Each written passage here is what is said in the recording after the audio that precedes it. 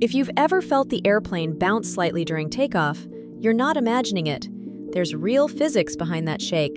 As the plane speeds up, air flows under the wings faster and faster.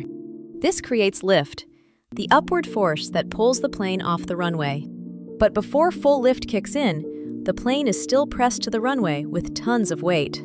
Uneven runway surfaces can cause the wheels to bounce slightly due to the aircraft's massive weight. At the same time, pockets of warmer or cooler air near the ground create tiny turbulence.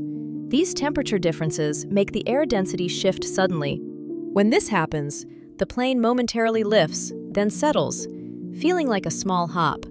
As speed continues to rise, lift becomes strong enough to smooth out the motion. Once the wings take over and the wheels leave the ground, the bounce disappears entirely.